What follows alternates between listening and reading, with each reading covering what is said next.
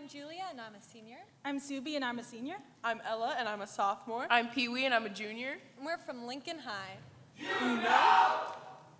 They say be more like the neighbor's kids. Be faster. Be stronger. Be braver. Be the best. They say the, the neighbor's, neighbor's kids, kids aren't selfish. selfish like I am.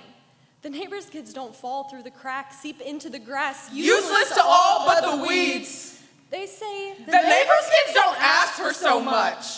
I'm spoiled by gifts, but what really rots me is the things that I'm not. Kind, intelligent, the girl next door.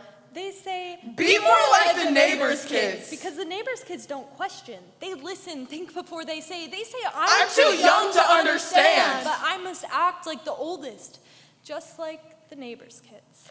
They, they say, be more like the neighbor's kids. Who constantly excel, yet no one sees the internal dwellings of the oldest child destined for perfection, expected to be the first in their family. To go to college. To get a house. To have a stable income. The example, ignorant to nothing but failure and that fountain of passion, dried by the same adults who praise the fruit, who praise the fruit for being so ripe.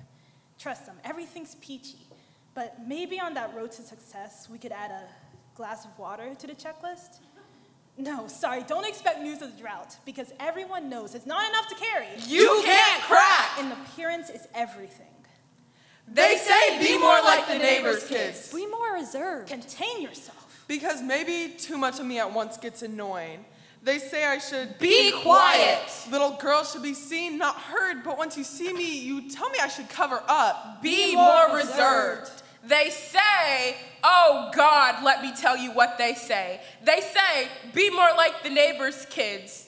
They say, don't shout. You're, You're too, too loud. Turn that music all the way down. They say, pull up your pants, dust your shirt. The neighbor's kids always, always look nice and clean, which I found kind of mean. They say, no, I say, do you really even know the neighbor's kids? Soon you'll find out.